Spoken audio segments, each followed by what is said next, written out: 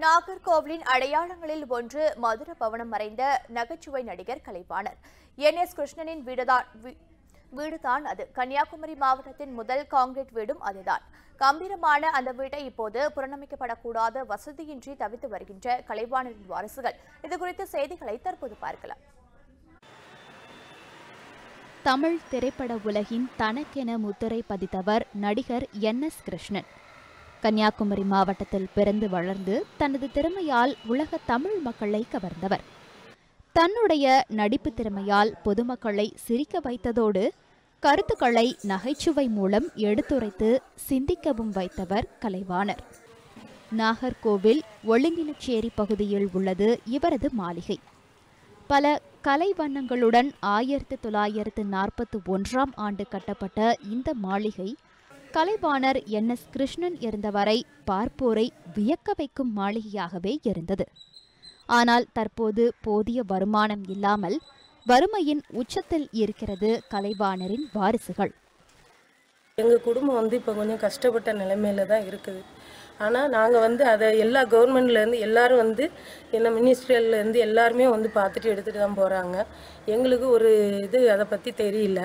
என்ன ஏதுன்னு எங்களுக்கு நான் வந்து இந்த வீட்டை நல்லா புதுப்பிச்சு எடுத்து நல்ல மாதிரி முறைக்கு இந்த கவர்மெண்ட் ஆனது எங்களுக்கு வழங்கணும். ஒரு காலத்தில் கோட்டை என மக்களால் அழைக்கப்பட்ட கலைவாணரின் வீட்டின் உள்ளே நுழையும் போதே கலைவாணரின் பழைய புகைப்படங்கள் பார்ப்பவர்களை வியக்க வைக்கும் விதமாக அமைகிறது. கலைவாணரின் மகன் கோலப்பனின் மனைவி உமைய பார்வதி தனது மூத்த மகள் சரஸ்வதியுடன் வீட்டின் பின்பகுதியில் உள்ள ஒரு சிறிய அறையில் வசித்து வருகிறார்.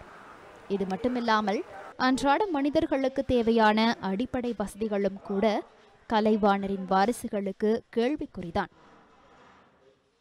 அரசு உதவி எனக்கு பண்ணணும். என்னுடைய பேரனுக்கும் என்னுடைய பையனுக்கும் ஒரு வேலை வாய்ப்பு கொடுக்கணும். அரசு வந்து எனக்கு இந்த வீட்டையும் நல்லாக்கி என்ன மேலும் என்ன ஒரு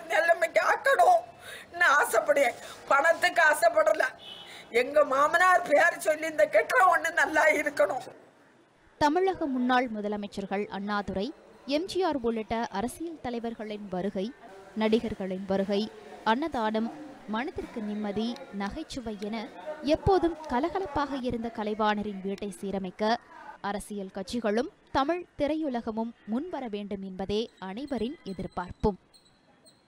அவர் வாழ்ந்த இல்லத்தை இன்று பார்க்கிற பொழுது அது அந்த நிலை குறைந்து சிதலமடைந்து பாழடைந்து அந்த வீடு இருக்கிறது. அரசு சார்பில் அதை சீரமைத்து கொடுக்க வேண்டும். அதுபோல என். எஸ். கிருஷ்ணன் அவர்களுடைய குடும்ப வாரிசுகளுக்கு அரசு வேலை வாய்ப்பு கொடுத்து அவர்களை ஊக்குவிக்க வேண்டும்.